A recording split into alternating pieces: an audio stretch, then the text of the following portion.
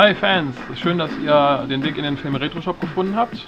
Ich bin etwas durch die Gänge gestöbert und habe in den Katakomben geguckt. Und was habe ich gefunden? Ein Gremlin.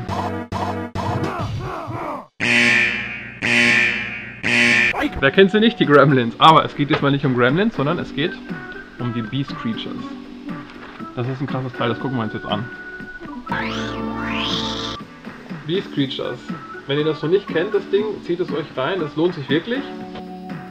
Sehen Sie, der ganze Strauch ist voll. Mm, Die sind gut. Aber pflücken Sie nur die dunklen. Die anderen sind noch nicht reif genug. Also eine Gruppe Schiffbrüchiger landet auf einer Insel, weiß nicht äh, wohin mit sich, erkundet die Insel und ein paar Landschaftsaufnahmen, monotone Musik und eigentlich hässliche und unsympathische Schauspieler. Aber gut, das hat man ja häufiger.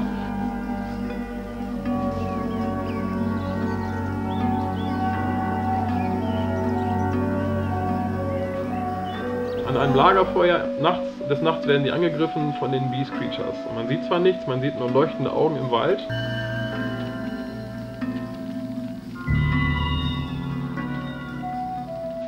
Und dann wird gleich die Vorahnung laut, es muss Millionen geben.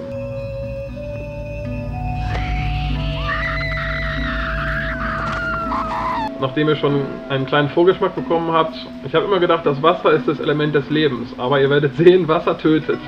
Wasser.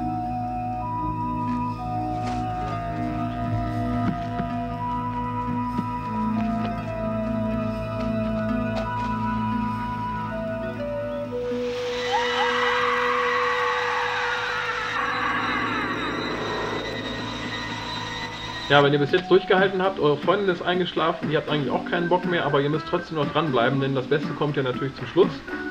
Die Gruppe von Leuten, von Überlebenden, ist auf einer Lichtung und schaut in die Bäume und dann kommen irgendwann die ganzen Beast Creatures angelaufen, angeflogen oder werden auf die Darsteller geworfen.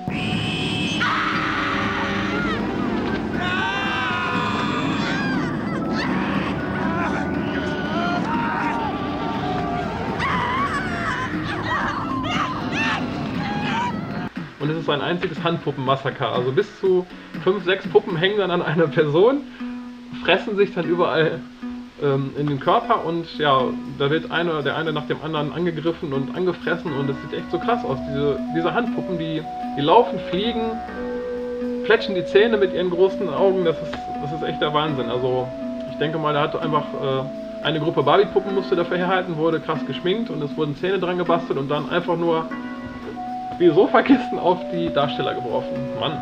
Oh mein Gott!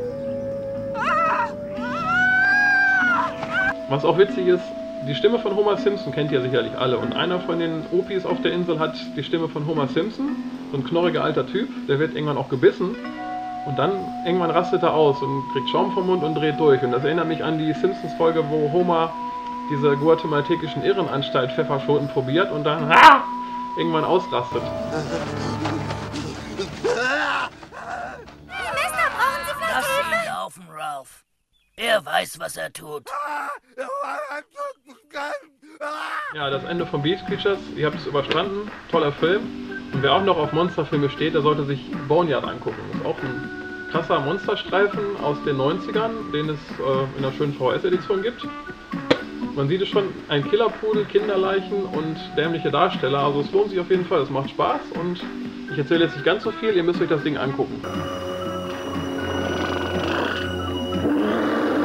Und ich, ja, ich gucke jetzt wieder ein bisschen rum. Ich gucke mir jetzt weiterhin blödsinnige Filme an. Wir sehen uns nächste Woche bei Trash. Macht's gut, danke fürs Gucken. Bis später.